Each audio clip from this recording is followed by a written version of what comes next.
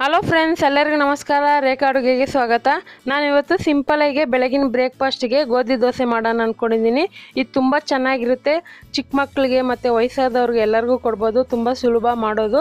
ಅದರಲ್ಲೂ ನೀವು ಸ್ನ್ಯಾಕ್ಸ್ ಟೈಮಲ್ಲಿ ಕೂಡ ಮಾಡ್ಕೊಂಡು ತಿನ್ಬೋದು. ತುಂಬ ಚೆನ್ನಾಗಿರುತ್ತೆ. ಇದಕ್ಕೆ ಬೇಕಾಗೋ ಇಂಗ್ರೀಡಿಯೆಂಟ್ಸು ನೋಡಿ, ಸುಮಾರು ಒಂದು ನೂರೈವತ್ತು ಗ್ರಾಮ್ ಆಗೋಷ್ಟು ಗೋಧಿ ಹಿಟ್ಟು ತೊಗೊಂಡಿದ್ದೀನಿ. ಒಂದು ಮೂರು ಟೇಬಲ್ ಸ್ಪೂನ್ ಆಗೋಷ್ಟು ಮೊಸರು. ಒಂದು ಕಾಲು ಟೀ ಸ್ಪೂನ್ ಅರಿಶಿನ.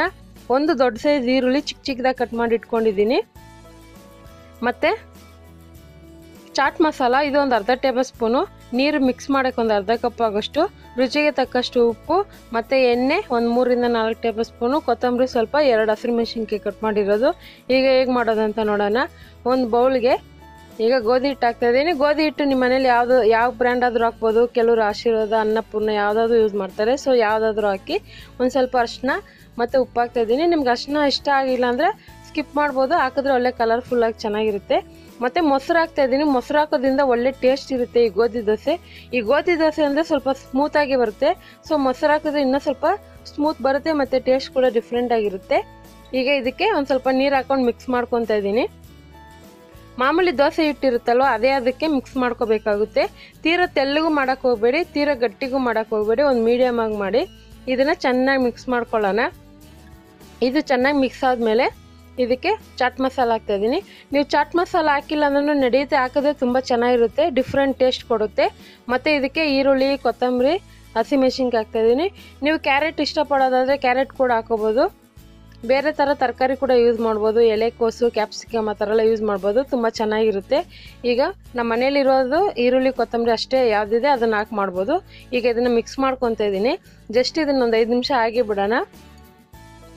ಈಗ ಸ್ಟವ್ ಮೇಲೆ ಹೆಂಚಿಟ್ಟಿದೆ, ಹೆಂಚು ಕೂಡ ಕಾದಿದೆ. ಸೊ ಇದಕ್ಕೊಂದು ಸ್ಪೂನ್ ಎಣ್ಣೆ ಹಾಕ್ಕೊಂಡು ಈಗ ಗೋಧಿ ಮಿಶ್ರಣವನ್ನು ಅದ್ರ ಮೇಲೆ ಹಾಕ್ತಾ ಇದ್ದೀನಿ. ನಿಮ್ಗೆ ಯಾವ ಥರ ಬೇಕೋ ಆ ಥರ ಮಾಡ್ಕೋಬೋದು. ಸ್ವಲ್ಪ ಚಿಕ್ಕದಾಗಿ ಬೇಕಂದರೆ ಸೆಟ್ ದೋಸೆ ಥರ ಮಾಡ್ಕೋಬೋದು.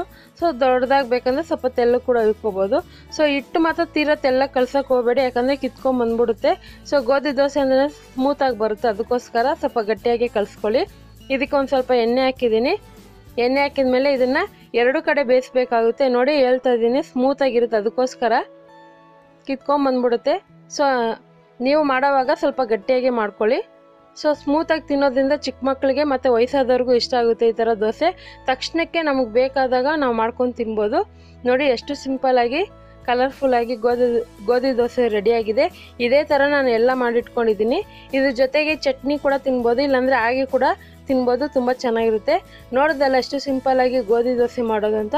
ಹಾಗಾದರೆ ರೆಸಿಪಿ ನಿಮ್ಗೆ ಇಷ್ಟ ಆಗಿದೆ ಅಂದ್ಕೊತೀನಿ ಇಷ್ಟ ಆಗಿದ್ರೆ ಇವತ್ತೇ ಟ್ರೈ ಮಾಡಿ, ಹೇಗಿದೆ ಅಂತ ಕಮೆಂಟ್ಸ್ ಮಾಡಿ, ಮತ್ತಷ್ಟು ಈಸಿ ರೆಸಿಪಿಗೋಸ್ಕರ ರೇಖಾ ಅಡುಗೆ ಚಾನಲ್ನ ಸಬ್ಸ್ಕ್ರೈಬ್ ಮಾಡಿ ಶೇರ್ ಮಾಡಿ ಲೈಕ್ ಮಾಡಿ ಈ ವಿಡಿಯೋ ನೋಡಿದ್ದಕ್ಕಾಗಿ ಎಲ್ಲರಿಗೂ ಧನ್ಯವಾದಗಳು.